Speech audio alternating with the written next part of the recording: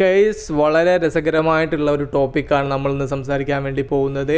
മമ്മൂക്കയെ നായകനാക്കിയിട്ട് B Unnikrishnan പുതിയ cinema ഒരുക്കാൻ വേണ്ടി പോവുകയാണ്. അതിന്റെ ഷൂട്ടിങ്ങും കാര്യങ്ങളൊക്കെ മെയ് മാസം തുടങ്ങുമെന്നാണ് അറിയാൻ സാധിക്കുന്നത്. മഞ്ജു വാര്യറാണ് ഈ ചിത്രത്തിൽ നായികയായി എത്തുന്നത്.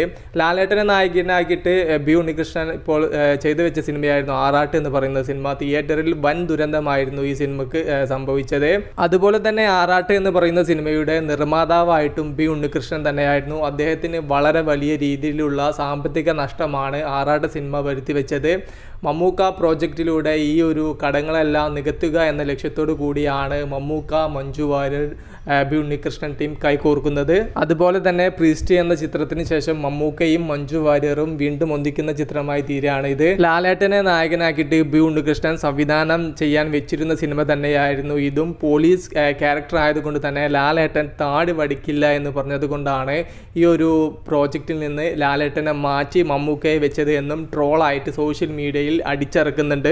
ഒട്ടും കോമഡി ഇല്ലാതെ പക്ക സീരിയസ് ആയിട്ട് കഥ പറയുന്ന ഒരു ആക്ഷൻ സിനിമയായിട്ടാണ് ഈ ഒരു ചിത്രം ഒരുങ്ങുന്നത്. നിങ്ങൾ എങ്ങനെയാണ് ഈ ഒരു ചിത്രത്തിന് വേണ്ടി കാത്തിരിക്കുന്നത്? ജസ്റ്റ് ഒന്ന് കമന്റായിട്ട് രേഖപ്പെടുത്തുക. മൂവി